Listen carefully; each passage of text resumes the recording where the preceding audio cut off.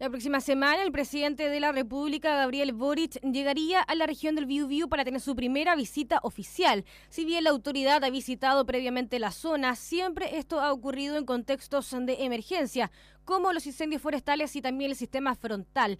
Parlamentarios esta vez solicitaron que aborde desde la conectividad vial, pasando por la crisis de seguridad y por materias de salud durante su visita. Espero que concretamente aborde el tema de la grave crisis de seguridad que no solo afecta a la provincia de Arauco, sino de forma alarmante a la provincia de Concepción con niveles de homicidios nunca antes vistos. Y por supuesto, anuncios concretos respecto a la reactivación económica en la región y a la grave crisis de desempleo por otro lado, el diputado Sergio Bobadilla comentó que el presidente debiese conocer los problemas de la conectividad de las carreteras de Concepción como la Ruta 150 y también las listas de espera en la región.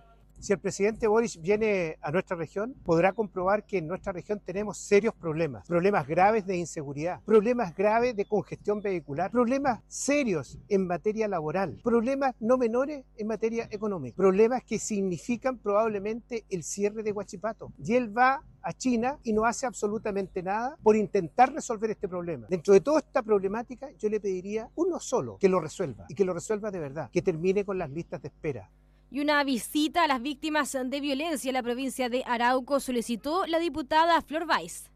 En una región fuertemente golpeada por la inseguridad, la violencia y la crisis económica, esperamos que en su visita pueda reunirse la provincia de Arauco con las víctimas del terrorismo y dar señales claras para enfrentarlo. En la provincia de Biobío, por su parte, el foco debe estar centrado en la comuna de Los Ángeles, debido al aumento de los niveles de inseguridad, crímenes e inicios de hechos que son propios del crimen organizado. En la comuna de Lota necesitamos que anuncie su incorporación al plan de calle sin violencia. Queremos que anuncie apoyo a los emprendedores y trabajadores la agenda del mandatario se está definiendo, pero tendría actividades en las tres provincias que conforman la región, Concepción, Biobío y Arauco.